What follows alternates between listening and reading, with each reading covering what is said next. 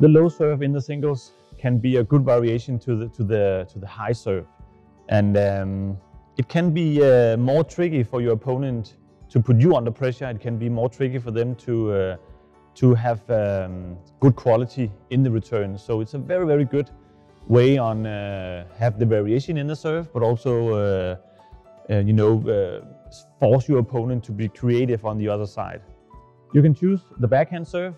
If you do that, you will um, you will probably show your opponent that you are doing the low serve. He will, in some cases, move just a little bit more towards the net. Um, so be aware of that if you choose to do the backhand. Of course, you can do the forehand short serve as well. It's a little bit more tricky to use it. It's not used that often. Uh, maybe a little bit more at, the, at lower levels uh, because the, the backhand serve is a little bit more tricky to control.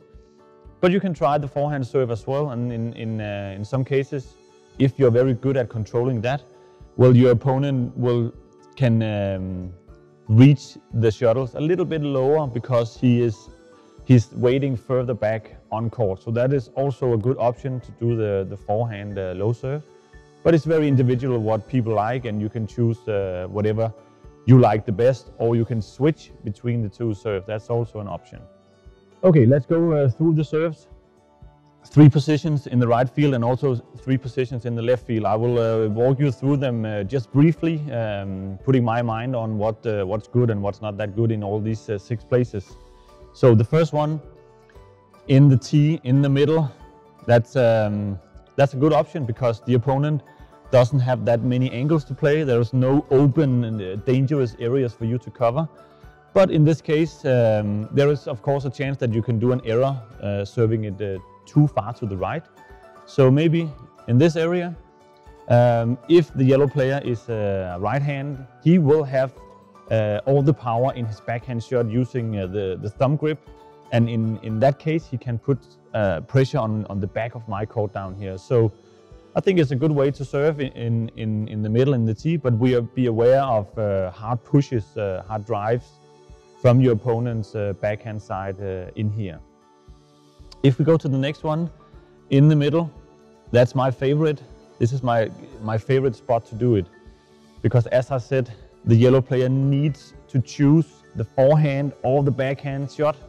And that could be confusing, especially on lower levels. Um, and uh, and that is it's very tricky for him because he needs to choose between these two, and he also needs to choose a return to do with either the forehand or the backhand. Um, if he chooses the backhand, it will probably come this way. Chooses uh, the forehand, it will probably come over here, or in this case, um, some people have um, have the same returns every time, uh, and especially at lower levels, people do uh, the most uh, common thing, the most uh, likely thing, just popping in their mind. Well, if I choose the forehand, I just play straight back the line that the serve came from. So uh, this is my favorite spot to do the, the low serve in the singles. The, the third position is out here, and that is in my mind the most um, dangerous place to do it. I'm right-handed down here. This player, even if he is right-handed or left-handed, he will have a very good option on putting pressure on my backhand side all the way down here. So he can do a shot coming down here. If I'm very fast, I can do it around the head. But in many cases, I would have to use my backhand.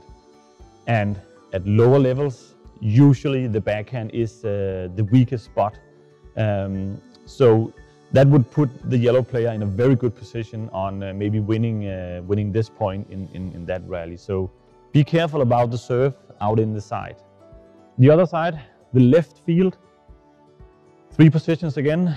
Uh, the first one in the tee in the middle and um, in this side, if the yellow player is right-handed, I, I like that a little bit better than the other side because that would be his forehand side in here. He doesn't have that much power in the forehand.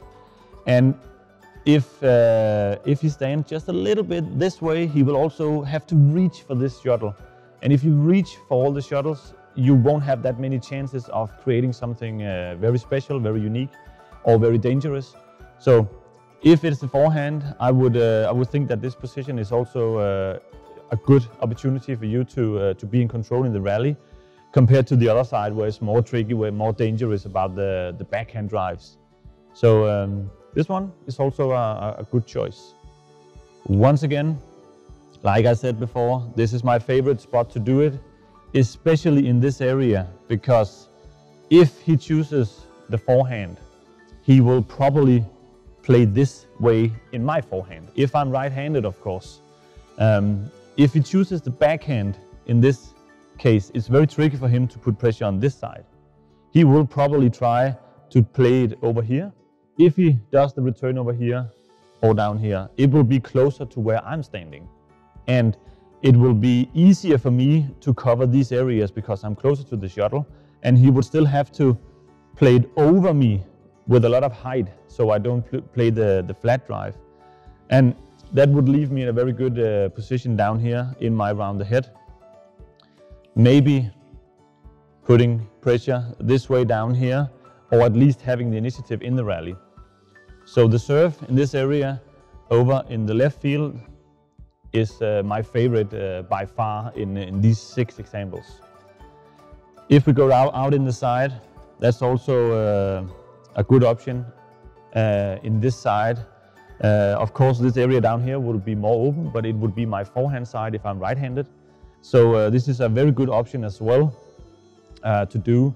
So as you can see, the, the low serves, in my mind, is better in the left field um, if he's right-handed. If he's left-handed, um, it's more tricky compared to, um, to this side because you would still have the areas open down here uh, on, in my backhand. So in general, to sum it up, you need to think where is your weakest spot, where will your opponent most likely do all the returns, and um, and where to where to position yourself after this serve, how to cover the court in, in the best way.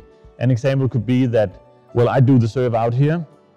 I need to maybe move just a little bit to this area. If he reaches this very low, I can maybe go a little bit further back because he might do the lift. All these small things you can uh, think about when you are when you are training all these things. There are easy points to be won in this area if you're good at doing all these uh, uh, precise serves, but also where to be positioned on on the third shot coming. So. Um, that's uh, that was some examples about the the short serves. I really hope that that you can see um, see what I mean, my point of view on this, and then try it yourself.